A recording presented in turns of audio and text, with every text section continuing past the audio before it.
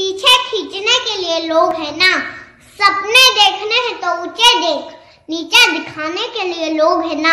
अपने अंदर जुनून की चिंगारी भड़का, जलने के लिए लोग है ना। अगर